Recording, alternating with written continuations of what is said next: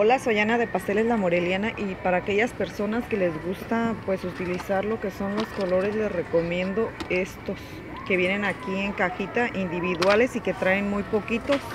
Así es que el precio no es muy caro, hay unos de 4.97, otros de 3.69 y aquí hay otros que son líquidos. Así es que no necesitan comprar uno de cada color porque están demasiado grandes. Los dejo con este videotip